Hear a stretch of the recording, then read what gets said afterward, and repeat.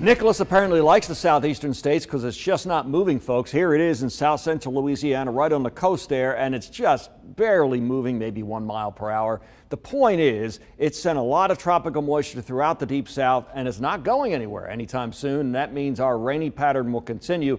If anything, I think tomorrow will be more active than today, and it might be the case on Saturday as well. Right now, as you can see, we can't see anything from Full Moon Barbecue in Alabaster. Obviously, someone turned the lights out. Otherwise, we do have a few showers showing up on the WVTM 13 Live Doppler. One batch over Walker County, one over Clay County. This seems to be gradually falling apart as it drifts northward. So I'm not that confident the rain's going to get very far north. But you folks around Arley may get some of this rain, perhaps around uh, Bremen in Cullman County and surrounding areas. And it's holding together to give a few sprinkles at least to the Anniston area. Heavier thunderstorm down here now moving toward Marion. That may hold together for a while, perhaps getting up into Bibb County, portions of Hale and Greene County already getting some of that rain.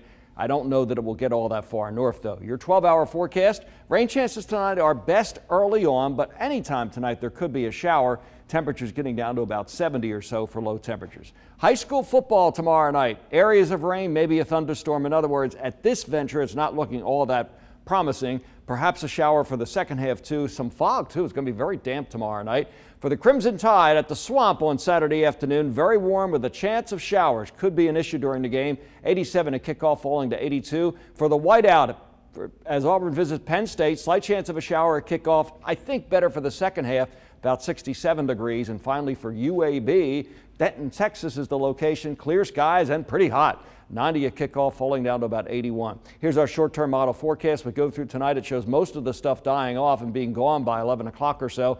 Then tomorrow dawns and maybe a little more sunshine tomorrow, but also it shows showers and thunderstorms developing during the afternoon, and a few of these could be heavy. Here is your seven day forecast. Tomorrow, another impact day. Good chance of showers and storms. 81 the high. Another good chance coming up Saturday and Sunday with highs in low to mid 80s. Early next week doesn't change very much at all. Fall comes in on Wednesday.